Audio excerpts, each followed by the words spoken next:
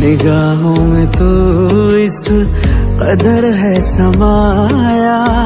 नज़र अब कोई और आता नहीं है। सरे आसमां में यूँ तो लाखों सितारे, सिवा चाँद के कोई भाता नहीं